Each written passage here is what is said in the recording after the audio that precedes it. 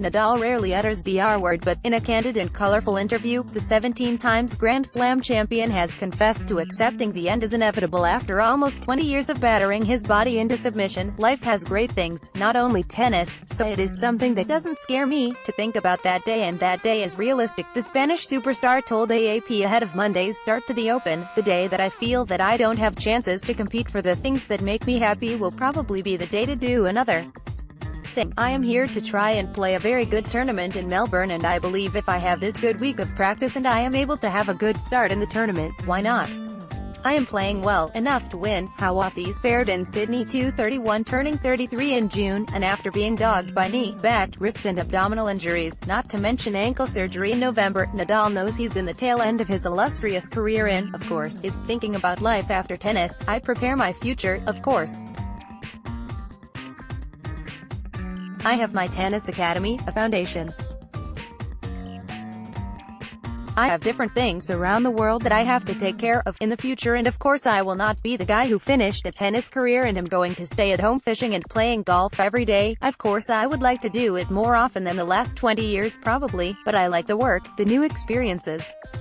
I am a worker so I like to do those things. Federer's crying conundrum 116 feeling relaxed and jovial before entering his intense Grand Slam mode, Nadal offered a fascinating insight into his passion for golf. The tennis southpaw declared himself a righty, and modestly revealed how, despite being very much a part-timer, he plays off a two-handicap. 1.8, 1.7, in fact, he said, I am solid, more or less. I have nothing unbelievable but nothing really weak, I more or less have a good short game and I am solid with the driver. Being honest, I never take a lesson and I never go to the range and hit balls.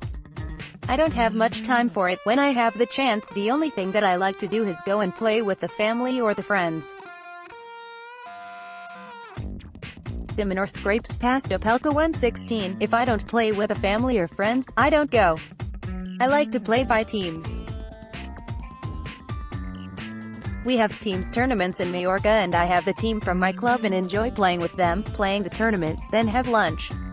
That's it. For me, it's a hobby, I'm not crazy about going from 2 to 1.7. I just don't care about the handicap. I just care about having fun and trying to play good. I'm a competitive guy and I like to do well and, when I do it, I try my best. But I don't go to the range. If I have hours free at home, I don't go to the range by myself. Asked what he needed to do to reduce his handicap to scratch, Nadal, with a chuckle, said, probably I need to not play tennis anymore, that's all. AAP.